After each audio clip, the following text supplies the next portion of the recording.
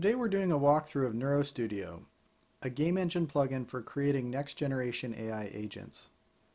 In the background you can see an example of such an agent exploring the game environment. The chief benefit of using NeuroStudio to create AI agents like this is that instead of having to handcraft behaviors for your AI like pathfinding or attack and defense, simply choose a reward for the behavior you want to see and let the AI figure out itself how to achieve that behavior. This style of AI is called deep reinforcement learning and combines neural networks with a temporal learning model. The temporal learning algorithm used here is deep Q-learning. This is a powerful framework that's spurring a revolution in robotics and AI control mechanisms. First I want to explain in broad brushstrokes the example we are looking at so you can get a feel for how the system works.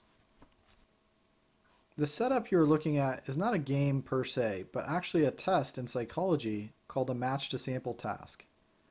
It's been used to study learning in animals and to test working memory. The idea is that the subject only gets rewarded if it performs a certain series of actions under very specific conditions. In this case, the AI has to travel to the cone and then the gold food bowl while simultaneously jumping in order to receive a reward. Any other combination of actions or environmental stimuli will not result in a reward. I have also used a match to sample task to demonstrate vanilla Q-learning in a similar video to which you can find a link in the description.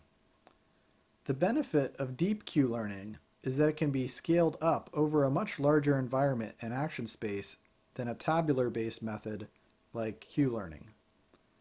In either event, the agent learns through trial and error experimentation, first going through a period of random behavior in which it accumulates knowledge about the environment and its, how its actions combine with that environment to produce rewards.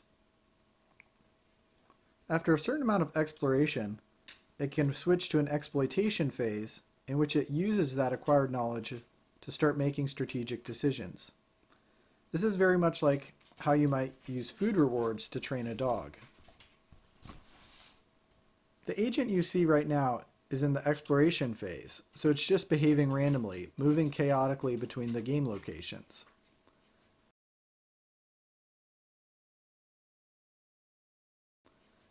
Let's fast forward and see it in the exploitation phase.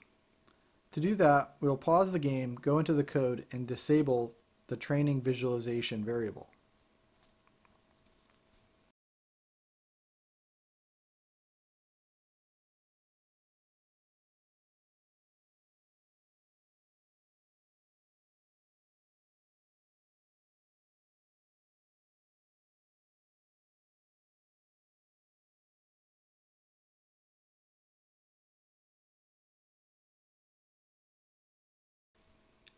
The agent will now cycle very quickly through the exploration phase, using that experience to train a neural network within the learning engine. After this is finished, it will immediately begin to act strategically. It takes about 300 random exploratory moves before the agent has acquired sufficient knowledge to begin succeeding at this particular task. The number of training episodes would change depending on the complexity of the task and the parameters of the neural network, such as how many hidden layers it has and what the learning rate is set to.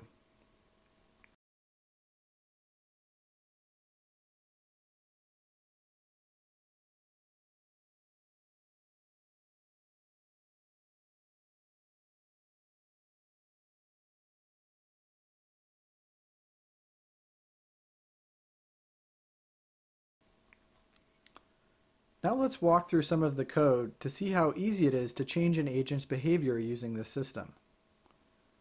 First we'll drop into the AI character controller where the brains of the agent is located.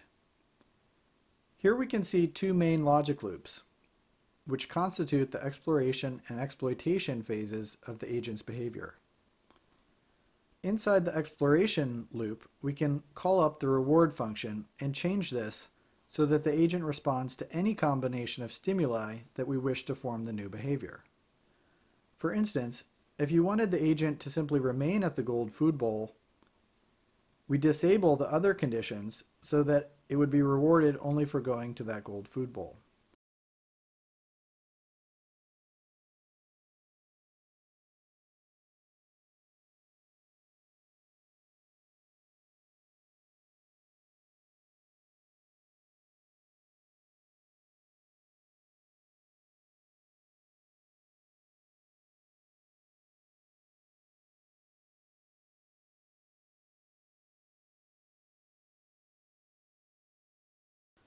Now let's look under the hood and do a brief overview of some of the other functional components of the system. The first important step is to initialize action and environmental variables so the agent has a table of all the pertinent things that can affect how it is rewarded. That takes place in these functions load sensory input and define action space.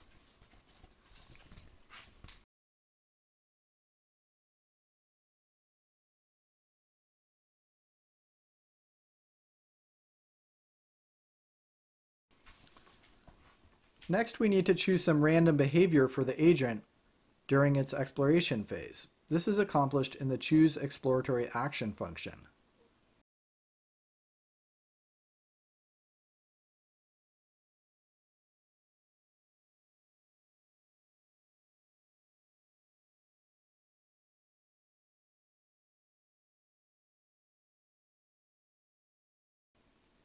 Following this, the agent needs to know what changed in its environment after the action it just took. This is accomplished in the make observations function, which gathers the agent's sensory data so that it can be passed to the learning engine.